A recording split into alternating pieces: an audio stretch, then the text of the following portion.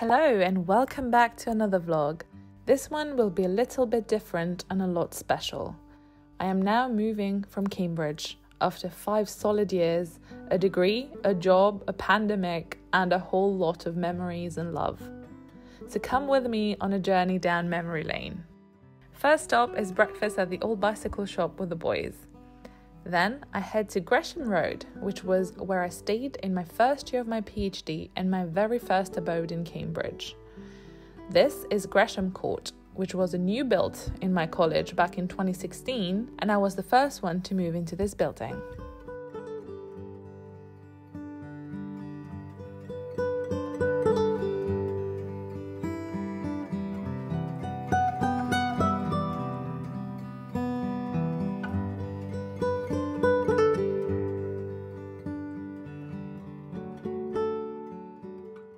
It has been a wonderful four years. Bye for now, Hughes Hall.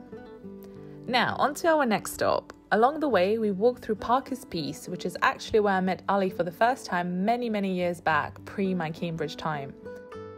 This is the University Arms Hotel, which is so pretty and really posh.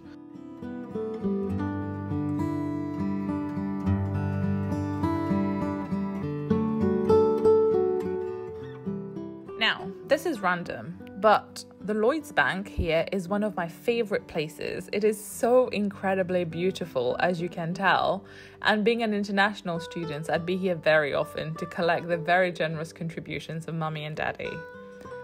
Now, quick detour through the market square where you can find the best falafel wraps and coconut and mango smoothie I strongly recommend. Now we get to the most iconic building of Cambridge, which is the chapel in King's College, and next to it is the Senate House, where I have not had my graduation ceremony yet, hopefully next year.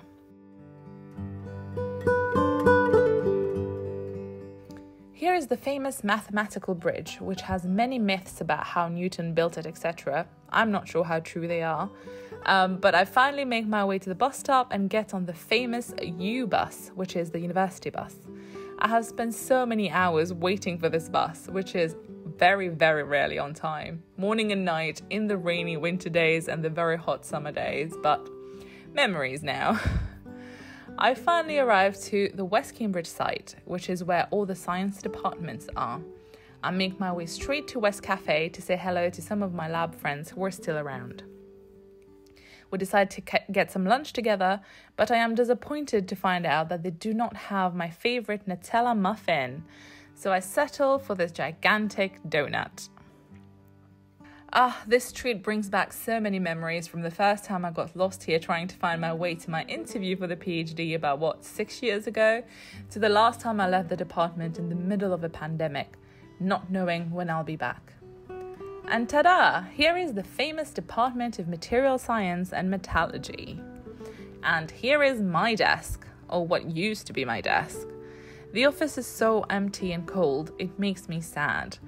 This used to always be busy with people and cake and warmth. It kind of makes it easier to say goodbye, I guess.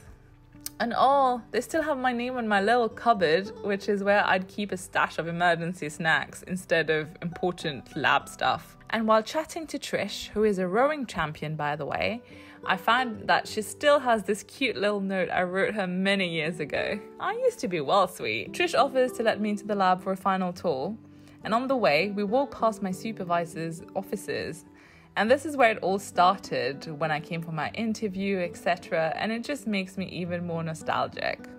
And here is the tea room where I am embarrassed to say that I spent three quarter of my days there many times.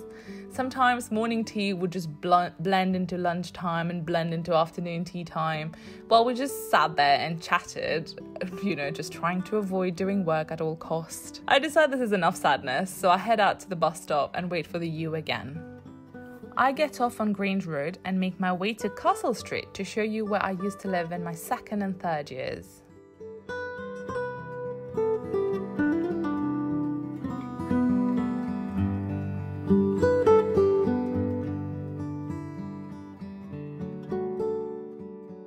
Had a lot of fun in Nido and it was my first time living in a studio and it was so great. Now, let's have a quick detour to Medan, which was the little shop close to Nido where I would get my midnight snacks from and halal meat. I get some beloved kiri, which is famous cheese, if you know, you know, just for good old time's sake. Then I make my way further down Castle Street to study in, where I spent my last year as a student. Feeling emotionally and physically drained, I decide to take the taxi to our final stop of the day, which is on the other side of town, to be honest the Cambridge Mosque. It is the biggest eco friendly mosque in Europe, apparently. The washroom feels like a spa with dryers for your feet, even.